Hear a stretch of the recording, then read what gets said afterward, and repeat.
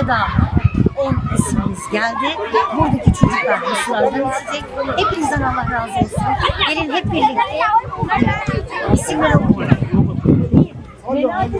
Yarenler Çeşmesi. Buradan kucak dolusu sevgiler koyuyorlar. Talip Gönül görmüş. Halil Kara, Mustafa İlyas Gönül Çeşmesi. İsmet Altıntaş Mey Çeşmesi. Valley of Roses.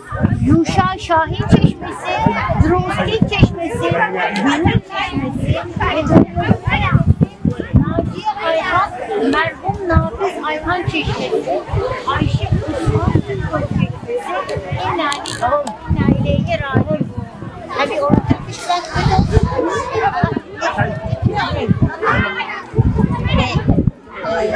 Mustafa Bey'in birkaç tane de fotoğraf çek ki e, buraya geldiğimiz anlaşılsın.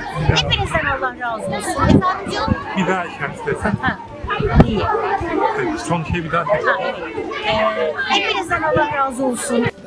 ومدرسيها سأقدم جزيل الشكر إلى هذه المؤسسة التي قامت بتحفير البئر لهذه المدارس الميمونة كنا نعاني مشكلة عدم المياه ولكن الحمد لله قد انتهت هذه المشكلة لوجود هذه البئر لذلك نشكر أمنا أم الأفريقية على هذه العملية.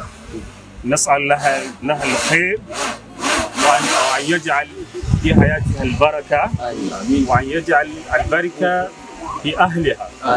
وكل من ساعد ب- بيد العون في, في إتمام هذه يعني آه، ال- البيئة نسأل الله الخير والعافية والسلام عليكم ورحمة الله Alhamdulillah, uh, this is the head of teacher, head teacher of this school.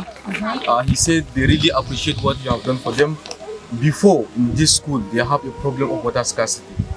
But Alhamdulillah, with this project now, the problem has been solved. Elhamdülillah. Ask Allah subhanahu wa ta'ala to bless you.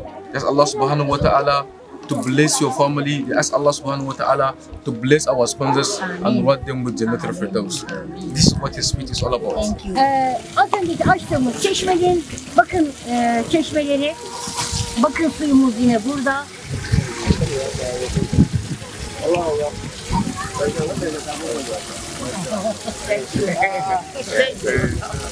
Su deposu. Böyle güzel bir çeşme ve böyle güzel evlatlar. Ay you are not thinking. Aa, ben boşu boşuna konuştum. Hepinizden Allah razı olsun. Ee, böyle güzel bir çeşme, böyle güzel bir evlatlar, böyle güzel bir okul ve okul